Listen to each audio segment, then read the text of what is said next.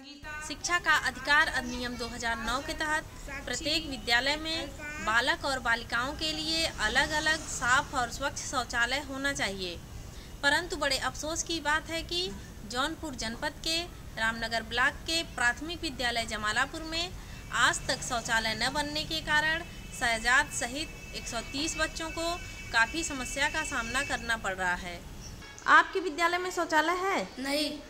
तो शौच के लिए कहाँ जाते हैं? मैम कभी कभी घर पे चले जाते हूँ। अगर घर पे आता तो मम्मी पापा रोक लेते हैं। और जब तेज से लगी रहती है तो स्कूल के कहीं पीछे जगह पाता हूँ। स्कूल पे पीछे कर लेता हूँ। नहीं तो देवा- दीवार कूद के जाते हैं। तो चोट लग जाता है तो उधर जाके कर लेते हैं। तो आप क्या चाहते हैं? एक सौ एक शौचालय बन जाए तो अच्छा रहे। स्कूल के अगल अगल बगल बच्चे गंदगी कर देते हैं। और घर जाते हैं। तो फिर बहुत लेट आते हैं, कभी लंच हो जाता है तब आते हैं। उनकी पढ़ाई पर बाधित होती है। हम लोग को भी बहुत परेशानी होती है, हम सब लेडीज़ हैं। हम लोग को, हम लोग को भी किधर जाएँ, बहुत ज़्यादा परेशानी होती है। हमारे विद्यालय में मैडम, शौचालय की समस्या है, जो कि बच्चों के लिए ज़्यादा ज़्यादा समस्या हो रही है। लेडीज़ स्टाफ भी है हमारे यहाँ, उनकी भी समस्या है बहुत ज़्यादा।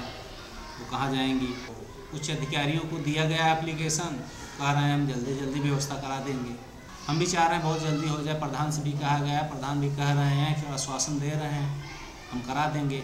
मैं इस वीडियो को देखने वाले सभी दर्शकों से अपील करती हूँ कि जौनपुर जनपद के बी से जिनका मोबाइल नंबर चौरानवे तिरपन डबल ज़ीरो इकतालीस तिरानवे है, इस पर कॉल करके दबाव बनाएँ। ताकि इनकी समस्या दूर हो सके।